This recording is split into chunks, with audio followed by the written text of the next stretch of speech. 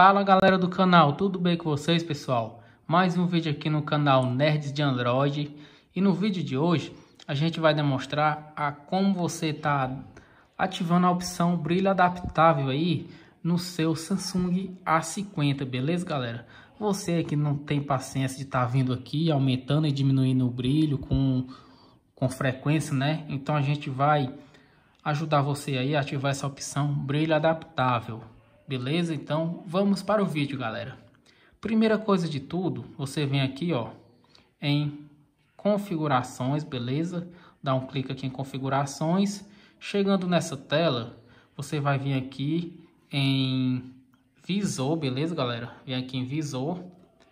E aí, aqui vai ter a opção, galera, ó, brilho adaptável, beleza? Você dá um clique, ó, brilho adaptável e tá aí, show, galera. Agora o brilho vai ficar alternando de acordo com o ambiente, certo? Então esse era o vídeo de hoje, espero ter ajudado vocês. Se você gostou, curte, compartilha, se inscreve no canal para dar aquela força aí. Valeu galera, fui!